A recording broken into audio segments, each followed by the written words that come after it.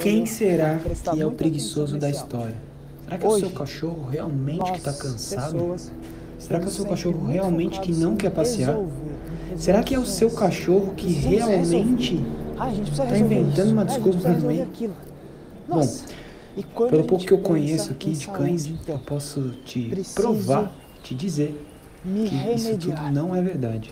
Que a grande verdade é que quem está remédio. fugindo de tô uma de levar o cachorro do passear, né? E aí a gente pode falar, entre aspas, de de uma um certa obrigação, mas uma obrigação com ponto. Porque quando é, quando vira obrigação, não é de coração. de O negócio do tem que ser feito de coração. Tá?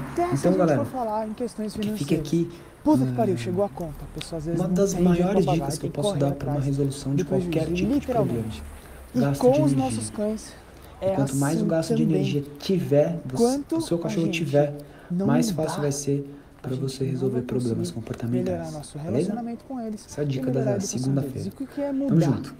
Gente, mudem, principalmente com os cães, né? Eu não sei nas outras fases ou nas outras coisas da vida de vocês, mas com os cães eu posso falar que dá. Dá pra fazer. Troquem pra ontem essa cabeça do remediar, essa cabeça do correr atrás do problema, do tentar resolver o que está dando errado, pro ensinar o que deve ser feito.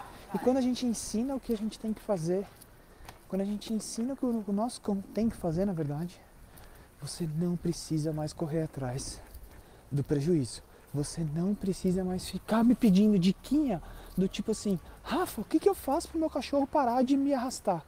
Ensina ele como que ele tem que andar. Não existe fórmula mágica.